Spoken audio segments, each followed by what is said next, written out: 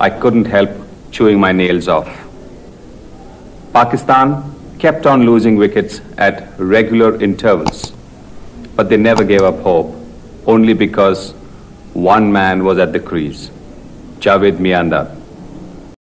First class और test series में जावेद मियांदाद और सनील गास्कर का तकाबली जायज़ा लेने के बाद आज हम देखेंगे कि इन दोनों का एक रोज़ा बैन अवी कैरियर कैसा रहा अगर आपने गास्कर और मियांदाद की फ़र्स्ट क्लास और टेस्ट क्रिकेट वाली एपिसोड्स मिस कर दिए हैं तो उन्हें ज़रूर देखें। लिंक आपको डिस्क्रिप्शन में मिल जाएगा।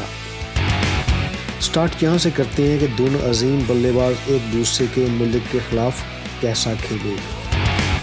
वास्कर का पाकिस्तान के खिलाफ एक रोज़ा क्रिकेट रिकॉर्ड बुरा नहीं है। 20 मैचों में छः निसफ सेंचुरियों की मदद से 600 रन उनके क्रेडिट पर हैं। जावेद मीनाद को मगर जब भी भारत के खिलाफ खेलने का मौका मिला, उन्होंने जान मारी। फतह के लिए, पाकिस्तान के परचम की सर बुलंदी के लिए। तीन सेंचुरियों और छः निसफ सेंचुरियों की मदद से मियाराज ने भारत के खिलाफ ग्यारह सौ पचहत्तर रन बनाए और वो भी बेहतर औसत के साथ। गौरतलब बात यह है कि ग्वास्कर की मौजूदगी में खेले गए मैचों में भारत पाकिस्तान के खिलाफ 20 में से 8 मैच जीता बारह हारा। कि जावेद मीराज की मौजूदगी में पाकिस्तान भारत के खिलाफ 35 मैचों में से 22 जीता और आधे, यानी सिर्फ़ 11 में उसे शिकस्त का सामना करना पड़ा।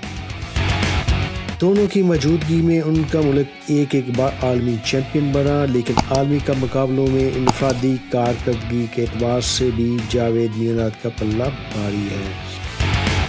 मियादाद ने छः आलमी कप में पैंतालीस इशारिया बत्तीस की औसत से रन बनाए, जबकि गवास्कर की चार आलमी कप में फ़ी इनिंग बल्लेबाजी की औसत पैंतीस इशारिया सिफर छः रही।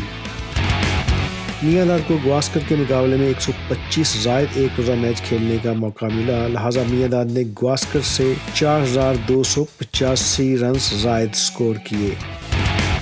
ताहम गवास्कर की पैंतीस शारिया चौंतीस की औसत के मुकाबले में मियादाद की एवरेज इकतालीस शारिया सत्तर रही।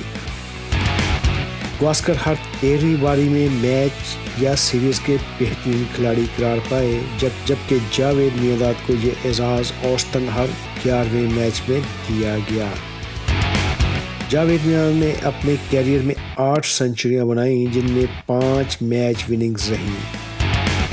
गास्कर की इकलौती सेंचुरी ने न्यूजीलैंड के खिलाफ जन्म लिया, जहाँ भारत भी फाते रहा। दाद ने भारत के खिलाफ तीन सेंचुरियाँ बनाई, जबकि गास्कर पाकिस्तान के खिलाफ एक भी सेंचुरी ना बना सके।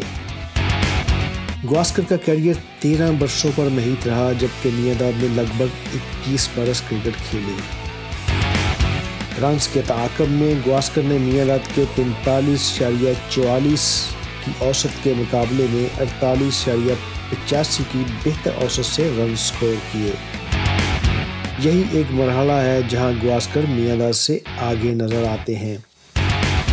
नॉकआउट मुकाबलों में मियादाद ने इक्यावन इशारिया बानवे की बेहतर औसत से रन बनाए, जबकि गवास्कर की फ़ी बारी रन बनाने की रफ्तार बत्तीस इशारिया तेरह रही। मियादाद का स्ट्राइक रेट भी गवास्कर से बेहतर रहा। दोनों अजीम खिलाड़ी फ़र्स्ट क्लास और पाँच रोज़ा क्रिकेट के तो ज़बरदस्त बल्लेबाज रहे हैं। गास्कर एक रोज़ा क्रिकेट में भी बुरे नहीं थे, लेकिन जावेद मियादार ने फ़र्स्ट क्लास और टेस्ट के अलावा एक रोज़ा क्रिकेट में भी सिचुएशन के मुताबिक क्रिकेट खेली और क्या कामयाब क्रिकेट खेली।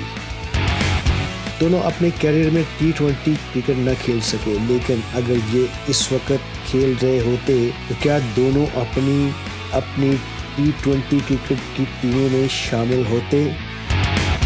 गास्कर का तो पता नहीं, लेकिन मियादाद टी ट्वेंटी भी उतनी ही कामयाबी से खेलते जितनी कामयाबी से उन्होंने क्रिकेट के बाकी फॉर्मेट खेले। अगर आपको हमारी ये वीडियो पसंद आई तो दोस्तों में ज़रूर शेयर करें। Thank you